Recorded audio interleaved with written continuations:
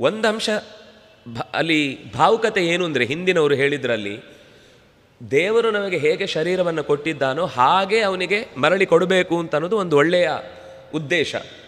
ಆದರೆ ಇವತ್ತು ನಮಗೆ ಅಷ್ಟೆಲ್ಲ ಉದ್ದೇಶಗಳು ಗೊತ್ತೂ ಇರೋದಿಲ್ಲ ಆ, ಮಾಡಿಸೋರಿಗೂ ಹೇಳ ಹೇಳಲಿಕ್ಕೆ ಬರಲ್ಲ, ಅಥವಾ ಮಾಡಿಸೋರಿಗೂ ಇದನ್ನು ಯಾಕೆ ಮಾಡಬೇಕು ಅಂತ ಗೊತ್ತಿಲ್ಲ. ಒಟ್ಟೊಂದು ಮನೆಯಿಂದ ಒಂದು ಕಾಟ ತೀರಿದರೆ ಸಾಕು ಅಂತ ಕಾಯ್ತಿದ್ರು. ಇದೊಂದು ಸುಖಕರವಾದ ಕಾಲ ಅಂತಲೇ ಭಾವಿಸಿದ್ರೂ ತಪ್ಪಿಲ್ಲ.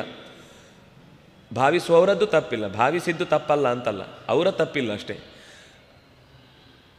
ಆದರೆ ಮತ್ತೆ ಹಾಗಾದರೆ ಕೊಟ್ಟರೆ ತಪ್ಪ ಅಂದರೆ, ನೋಡಿದರೆ ಈಗ ಶಿಬಿಯ ಕಥೆಯನ್ನು ನಾವು ಗಮನಿಸಿದರೆ, ದಧೀಚಿ ಮಹರ್ಷಿಯ ಕಥೆಯನ್ನು ಗಮನಿಸಿದರೆ, ಶರೀರವನ್ನು ಅವರು ಒಳ್ಳೆಯ ಪರ್ಪಸ್ಸಿಗೋಸ್ಕರ ಕೊಡ್ತಾರೆ ಅಂತಂದಾಗ, ಅದು ಇನ್ನೂ ನಾಲ್ಕು ಜನ ಆ ಸಾಧನೆಯನ್ನು ಮಾಡಲಿಕ್ಕೆ, ಆ ಇಂದ್ರೆ ಮೆಷಿನ್, ಇದೊಂದು ಮಿಷಿನ್ ಅಷ್ಟೇ, ಇದೇ ಕಣ್ಣಲ್ಲ, ಇದೇ ಕಿವಿಯಲ್ಲ.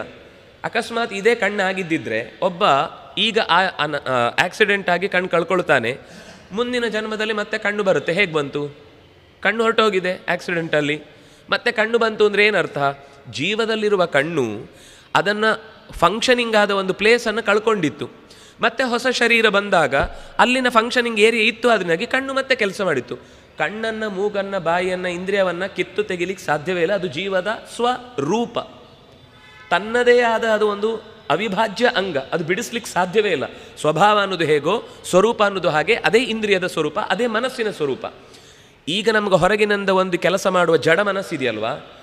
ಇದು ಸೂಕ್ಷ್ಮವಾದ ಜೀವದ ಮನಸ್ಸಿನ ಜೊತೆಗೆ ಕೆಲಸ ಮಾಡೋದ್ರಿಂದ ಇಷ್ಟೆಲ್ಲ ಸಾಧನೆ ಮಾಡಲಿಕ್ಕೆ ಸಾಧ್ಯ ಆಗುತ್ತೆ. ಆದರೆ ಅದೇನು ಮಾಡುತ್ತೆ ಅಂದರೆ, ಜಡ ಮನಸ್ಸು ಜೀವದ ಮನಸ್ಸಿನ ಕಾರ್ಯದ ಪೂರ್ತಿ ವೈಶಾಲ್ಯವನ್ನು ಅರ್ಥ ಮಾಡಿಸ್ಲಿಕ್ಕೆ ನಮಗೆ ಬಿಡಲ್ಲ. ಅದು ಸ್ವಲ್ಪ ದಡ್ಡತನವನ್ನು ಯಾಕಂದ್ರೆ ನಾವು ಏನು ಹೊರಗಿನಿಂದ ಫೀಡ್ ಮಾಡಿರ್ತೇವೆ ಅದನ್ನೇ ಮೆತ್ತಿಕೊಂಡೇ ಕೆಲಸ ಮಾಡ್ತಾ ಇರುತ್ತೆ. ಅದಕ್ಕೊಂದು ನಿಜವಾದ ಸಾಮರ್ಥ್ಯ ಇದೆ. ಎಲ್ಲ ವಿಷಯಗಳನ್ನು ಸರಿಯಾಗಿ ಇದೇ ಸರಿ. ಕೆಲವೊಂದು ಸರ್ತಿ ಒಳಗಿನಿಂದ ಅನಿಸ್ತಾ ಇರ್ತಿದ್ದು ಯಾಕೋ ಸರಿ ಇಲ್ಲ, ಯಾಕೋ ಸರಿ ಇಲ್ಲ ಅಂತ. ಆದರೆ ಹೊರಗಿನಿಂದ ನಮಗೇನು ಕಾರಣ ಸಿಗ್ತಾ ಇರಲಿಲ್ಲ ಹೇಳಲಿಕ್ಕೆ. ಘಟನೆ ನಡೆದ ಮೇಲೆ ಅನಿಸುತ್ತೆ. ಅಯ್ಯೋ, ನನಗೆ ಅವತ್ತಿನಿಂದ ಅನಿಸ್ತಾ ಇತ್ತು. ಅದು ಯಾಕೆಂದರೆ ಅದು ಸೂಕ್ಷ್ಮವಾದ ನಮ್ಮ ಜೀವದ ಮನಸ್ಸು ಹೇಳ್ತಾ ಇರುತ್ತೆ.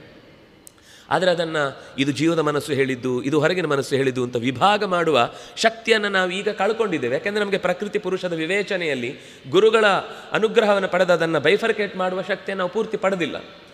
ಅದರಿಂದ ಇಷ್ಟು ಸೂಕ್ಷ್ಮ ಅಂಶಗಳನ್ನು ಒಬ್ಬ ಸಾಧಕ ಗಮನಿಸ್ತಾ ಹೋದ ಹಾಗೆ ಅವನಿಗೆ ಪ್ರಪಂಚದ, ಅದಕ್ಕೆ ಪ್ರಳಯ ಅಂದರೆ ಯಾಕೆ ತಿಳ್ಕೊಳ್ಬೇಕು, ಸೃಷ್ಟಿ ಅಂದರೆ ಯಾಕೆ ತಿಳ್ಕೊಳ್ಬೇಕು, ಇದೆಲ್ಲವೂ ಕೂಡ ಸೂಕ್ಷ್ಮವಾದ ಅಂಶದಲ್ಲಿ ಹೇಗಾಗುತ್ತೆ ಮತ್ತು ಹೇಗೆ ಬದಲಾಗುತ್ತೆ ಅನ್ನೋದು ಗೊತ್ತಿದ್ದಾಗ ಒಳಗೆ, ನೋಡಿ ಪ್ರಳಯ ಅಂದರೆ ಹೊರಗೆ ಹೇಗೆ